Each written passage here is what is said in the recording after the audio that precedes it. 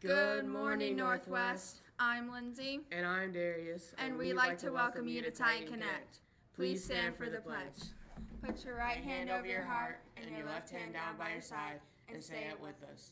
I pledge allegiance to the flag of the United States of America and to the republic for which it stands, one nation, under God, indivisible, with liberty and justice for all. Please remain standing for the dress code check.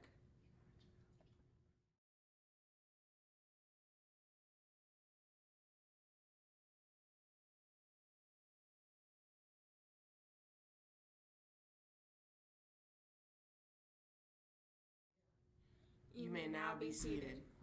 And now for today's announcements. Mr. Broadcroft's robotics team will not meet this week. We will meet again tomorrow, November 15th.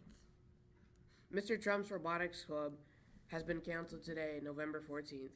He will be available tomorrow morning at 8 a.m. for anyone who's interested. And now for Mr. Henson.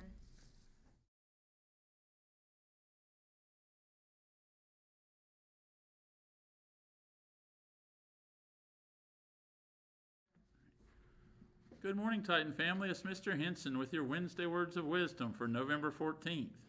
For all you pickle lovers out there today is National Pickle Day. They're usually those cucumbers that are pickled and preserved in a brine or vinegar. I bet you didn't know that the word pickle actually came from a Dutch word, pickle, which means brine. They're a low calorie food and they're high in vitamin K. And I bet you didn't realize it, but each and every American eats about nine pounds of pickles a year. That's a lot of pickles. Also, it's National Spicy Guacamole Day. This is a day to celebrate the spicy version of the avocado based spread or dip we call guacamole. It was first actually made by the Aztecs back in the 14th and 15th century. The name guacamole actually means avocado sauce in the Aztec language, and many of us just call it guac. So take a little time today to enjoy some guacamole, whether it's on chips or spread on something. Also, it's World Diabetes Day. The theme for World Diabetes Day and World Diabetes Month is the family and diabetes. Here's a few interesting statistics you may not know. Over 425 million people are currently living within, with diabetes within the world.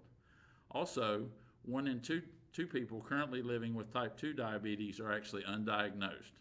So keep up with your doctor. And lastly, diabetes can be very expensive. In many countries, the cost of insulin, daily and daily monitoring can be up to half of a family's average disposable income. So keep up with that health and watch out for diabetes. And lastly, I want to give a shout out. It's National Educational Support Professionals Day. We always think of teachers when we think of school, but just think about people like secretaries, classroom aides, cafeteria workers, maintenance staff, bus drivers, and all those other people it takes to make the schools work. Let's give them a shout out today for all they do. Thank you, support professionals. And lastly, our quote for the week. It's in honor of National Pickle Day. Great ideas, like good pickles, are crisp, enduring, and devilishly hard to make. Can I have your attention, please? Bus 286 has not arrived at school yet. There will be another announcement made when they get here, and all kids will have signed in in the front office. So just think about those great ideas. They're fresh, they're new, and not too easy to come up with. But when you have one, it can last as long as that properly pickled pickle forever. So as we close today, just remember, Titan family, be respectful, be responsible, be safe. Make it a great day. The choice is yours.